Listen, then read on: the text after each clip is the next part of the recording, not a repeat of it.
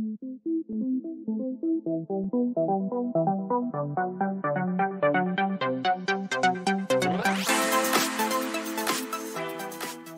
දොම්පෙ police වසමේ වානලුවාව ග්‍රාමයේ දෙමව්පිය සෙවනේ වැඩුණු තුෂාන් තශ්මික නැමැති මාස අටක් වයසැති දරුවා එම නිවස තුළ විදුලි පංකාවක් සඳහා බිත්තියේ සවිකර තිබූ විදුලි මේනුවට අත තැබීමෙන් විදුලි සැර වැදී මරුමුවට පත්ව ඇත. මවගෙන් කිරිබීමෙන් අනතුරුව එම දරුවා බිමදිගේ බඩගාගෙන ගොස් එම ස්ථානය අතගෑමෙන් මෙම අනතුර සිදුව ඇත. මෙම අවස්ථාවේ දරුවාගේ මව ඇගේ මව සමග ඒ ආසන්නේ කතාබහක යෙදී සිට ඇති අතර විදුලි විදුලි පංකාවේ වයරේ බිමවැටෙන ශබ්දය ඇසී එම ස්ථානයට දුවගොස් බැලීමේදී දරුවා අනතුරකට ලක්වී ඇති බව දුටු ඇය වහා දරුවා ඔසවා ගැනීමට තැත් කළ අවස්ථාවේදී ඇයටද විදුලි සැර වැදී ඇත. පසුව ප්‍රදේශවාසීන්ගේ සහය ඇතිව දරුවා දොම්පෙ රෝහල්ට ඇතුළත් කරන විටත් මියගොස් තිබිණ. දරුවාගේ හදිසි මරණ පරීක්ෂණය දොම්පේ හදිසි මරණ පරීක්ෂක ජගත් ශ්‍රීලාල් මහතා විසින් සිදුකොට පශ්චාත් මරණ පරීක්ෂණය සඳහා මෘතදේහය ගම්පහ රෝහල්ට ගෙන යන ලෙස දොම්පේ පොලිසියට උපදෙස් දෙන ලදී.